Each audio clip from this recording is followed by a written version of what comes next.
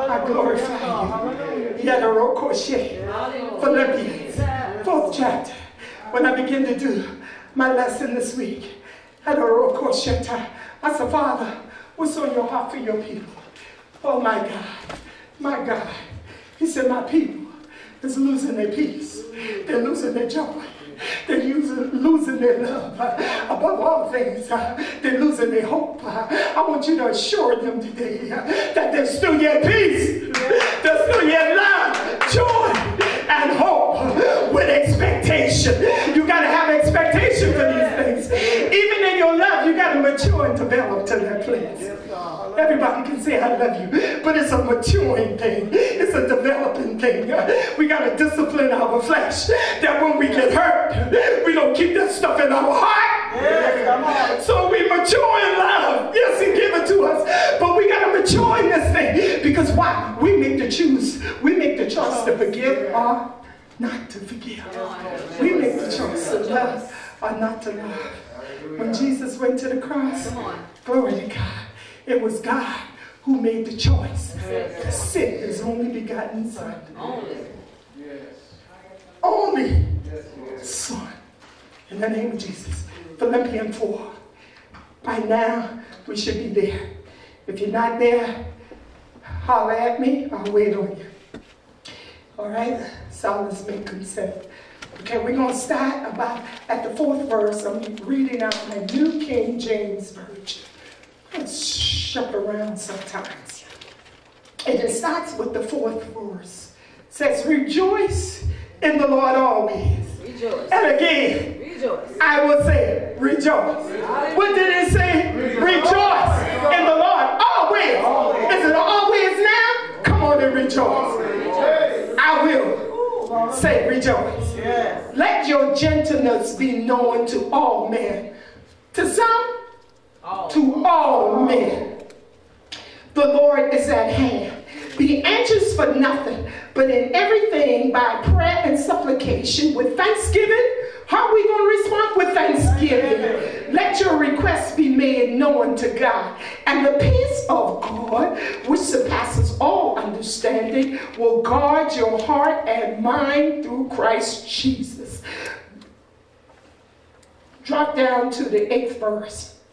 Finally, brethren, whatsoever things are true, whatever things are noble, whatever things are just, whatever things are pure, whatever things are lovely, whatever things are good report, if there is any virtue and if there is anything praiseworthy, meditate on these things. The things which you learn and receive and heard and saw in me, as Apostle Paul was speaking, these do. And the and the God of peace will be with you.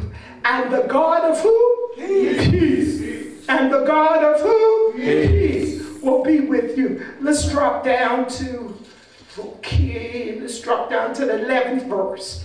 And the 11th verse says, Not that I speak in regard to need, for I have learned, this is what Apostle Paul is saying, for I have learned in whatever state I am to be content. I have learned in whatever state I am to be content. I know how to be a base and I know how to be abound. Everywhere and in all things, I've learned both to be full and to be hungry, both to abound and to suffer need. Glory to God. 13 verse where we all say, I can do all things through Christ who strengthens us. See, when we look at this story, glory to God, we see Apostle Paul is writing from Rome. He is in prison. Yes. You can see, have a seat. He is in prison. He's writing from Rome. In prison. He is in a difficult circumstances. He is writing to Philippi, glory to God. And if you look, we see in Philippians, we got four chapters. Within those four chapters, the word joy was repeated over 18 times. Joy, joy. He's in prison, but he got joy. He's in a difficult situation, but Philippi,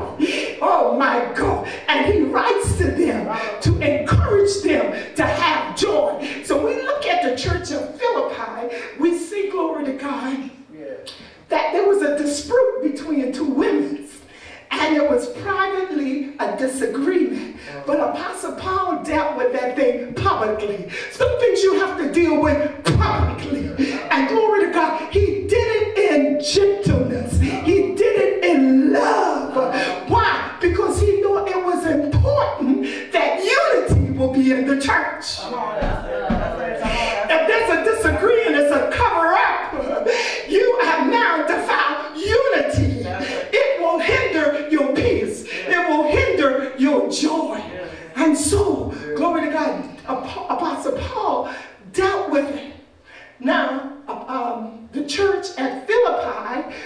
Church that he called joy, loved. And, and so often, glory to God, so often we look at a church and we say, man, that church is full of love. That church is full of joy. That church is full of unity. Apostle Paul saw Philippian, that church. But no matter how much joy, how much peace, how much love inside a church, there is no perfect church. You and I make up the church. We're not perfect, so the church can't be perfect. There's